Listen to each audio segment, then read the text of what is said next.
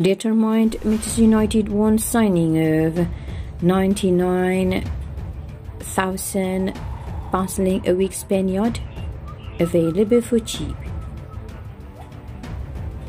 Manchester United need to reinforce the squad with quality players this summer in order to under trophy drought next season. If reports in the media are anything to go by then the Red Devils are interested in a number of La Liga stars. According to today's version of Sport, Manchester United are determined to secure deals from the city of Madrid. Three stars are on their wish list. Real Madrid Joao Varane and Atletico Madrid's Kieran Trippier and Vitolo. We did cover stories on Varane and Trippier last night. There is no update today, so the focus of this piece is on Vitolo.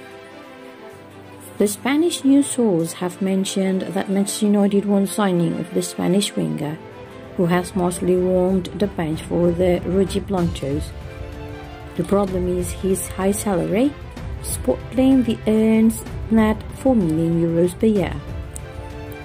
Few days back, AS reported that the 31 year old earns around 6 million euros a season or about 99,000 pounds a week.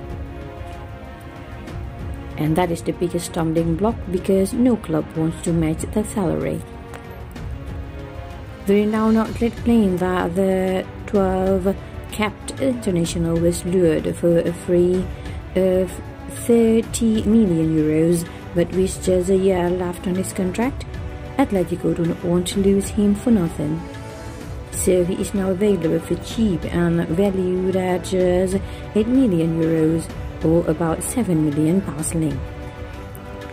Last season, the four-time Europa League winner only started five games in all competitions for the Wanda Metropolitano outfit. He will turn 32 in November and his best days are long gone. Therefore, Manchester United definitely do not need to sign a veteran who is past his prime. Instead, Ole should sign a proven quality winger, preferably right winger, to strengthen the attack in the summer transfer window.